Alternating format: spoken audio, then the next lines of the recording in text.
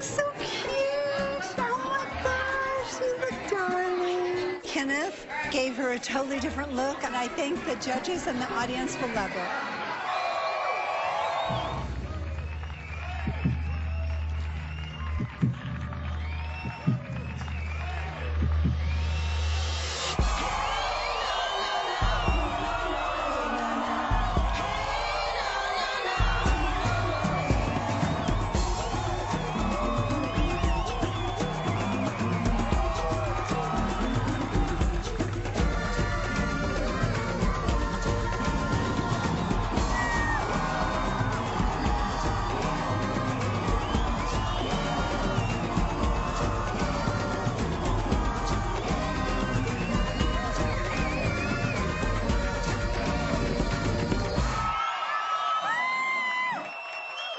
I noticed that she had different makeup for different routines.